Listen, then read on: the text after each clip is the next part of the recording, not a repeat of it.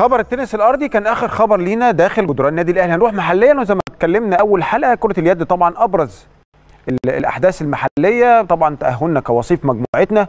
عارفين طبعا آه، مجموعة آه، مصر كانت مجموعة صعبة. هي فيها ست فرق والمجموعة الثانية فيها ست فرق. مجمل 12 فريق بيتأهل أربعة قصاد أربعة.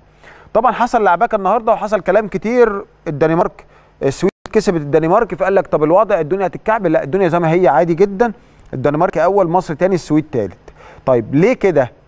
هقول لكم الدنمارك كسبت ماتش وخسرت ماتش وكلنا أو كلنا خسرنا ماتش وكسبنا ماتش بس كلنا معانا 8 نقاط. يعني الدنمارك معاها 8 مصر 8 نقاط السويد 8 نقاط. اللعبة فين بقى؟ اللعبة في الأهداف اللي جبتها واللي جت فيك. فهنلاقي الدنمارك ليها موجب اتنين ليها هدفين.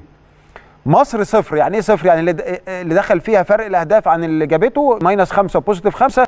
فبقى قصا- يعني مع مجموعهم صفر. آه الف- ده بتكلم على المقارنة ما بين الثلاث فرق. المقارنة ما بين الثلاث فرق. عشان على فكرة الثلاث فرق التانيين حصل فيهم نفس ال trick دي و والبحرين اتأهلت بناء عليه. فعندنا السويد عليها يعني إحنا قلنا الدنمارك positive 2 أو موجب 2 مصر صفر السويد ناقص 2 يبقى كده الترتيب دنمارك مصر السويد. وكان في يعني حالة واحدة فقط اللي كان ممكن فيها تع- كعبل الدنيا بس ده صعب تحصل يعني يعني ما تحصلش غير باتفاق من فرقتين مع بعض وده طبعا مستحيل.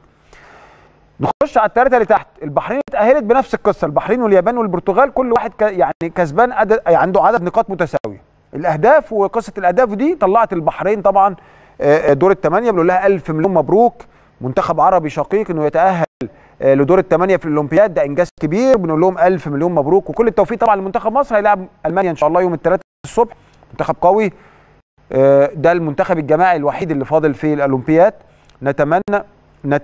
آه نتمنى إن شاء الله ربنا يكرمنا آه، آه، آه، في آه، مع ألمانيا. والبحرين تقريبا هتلاعب كمان فرنسا. ربنا معاهم. يا رب كل التوفيق لمصر والبحرين في دور الثمانيه طبعا بفكركم إن المنتخب بيضم ثلاث لعيبة من النادي الأهلي هم محمد عصام الطيار وإبراهيم المصري وأحمد عادل. والثلاثه ليهم دور كبير جدا مع منتخب وده مدير فني منتخب أسبانيا.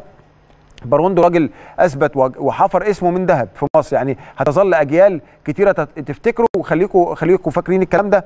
آه، يعني هو سنه صغير. فممكن يعني حتى لو راح وجاي هيروح ويجي على منتخب مصر كتير. ف- فبيتهيألي المنتخب ده أو ال- الراجل ده أو المدير الفني ده عمل شغل كويس قوي مع منتخب كرة اليد ونجح بشكل كبير يغير طريقة لعبهم.